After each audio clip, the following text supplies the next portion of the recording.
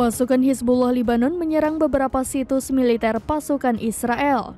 Tak terkecuali 8 unit Iron Dome yang selama ini menjaga Israel tak lagi bisa berfungsi usai dihancurkan perlawanan. Dikutip dari Al-Mayadin via Tribun News pada Senin 13 Mei 2024, pejuang Hizbullah menyerang pangkalan Beit Hillel yang merupakan posisi Iron Dome. Serangan tersebut dilancarkan dengan drone kamikaze alias drone bunuh diri. Beberapa komponen Iron Dome terdampak serius dan berhasil dilumpuhkan oleh Hizbullah.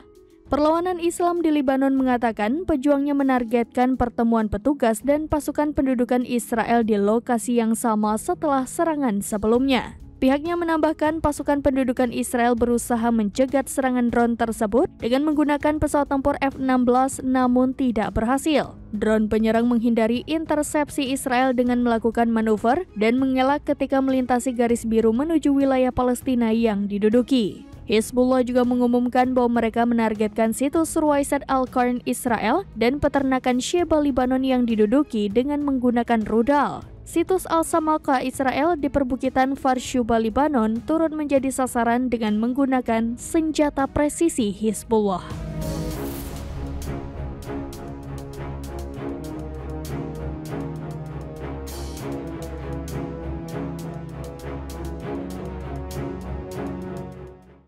Download Tribun X sekarang.